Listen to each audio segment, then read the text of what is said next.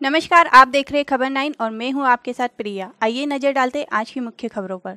ग्राम पंचायत ताकीपुरा गिरोड में हुआ विशेष ग्राम सभा का आयोजन कर आबादी भूमि बढ़ाकर लोगों को आवासीय पट्टे मिले। इस हेतु तो सरपंच राजेश बड़वाया की पहल, दोनों ग्राम ताकीपुरा व गिरोड के लगभग 300 घरों के परिवार जनों को मिलेगा लाभ, जिसमें ताकीपुरा में बंजारा समाज, पारदी समाज व गिरोड में कलोता व मालवी समाज व अन्य समाज जो वर्षो ऐसी शासकीय भूमि आरोप अपने परिवार जनों के साथ घर बनाकर रह रहे हैं। ऐसे परिवार जन जिन्हें अपने घरों में मालिकाना हक मिले व आवासीय पट्टे मिले, इस इस हेतु प्रस्ताव ग्राम सचिवालय पर ग्राम पंचायत ताकीपुरा द्वारा ग्राम सभा में पास करके शासन को भेजेंगे। इस हेतु आज विशेष ग्राम सभा का आयोजन कर प्रस्ताव पास किया गया। वह सर्वसम्मति से प्रस्ताव पास किया कि दोनों ग्राम के लगभग 300 परिवारजन जो वर्षों से अपने परिवारजनों के साथ रह रहे हैं, उन्हें पट्टे मिले, प्रधानमंत्री आवास मिले, गरीबी रेखा के कूपन बने। इन्हीं सब विषयों को लेकर सरपंच राजेश बड़वाया की अध्यक्षता में प्रस्ताव पास किया गया।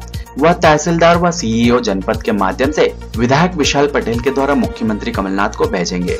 ग्राम सभा में पटवारी अनिल खरे, कृषि विभाग से रविंद्र अत्रे, सुषमा दुबे, जितेंद्र बड़वाया, अनिल चावड़ा सहित सैकड़ों महिलाओं, पुरुषों ने बढ़ चढ़ कर भाग लिया। संचालन सचिव प्रहलाद दुबे व आधार सहायक सचिव संतोष मंडलोई ने माना।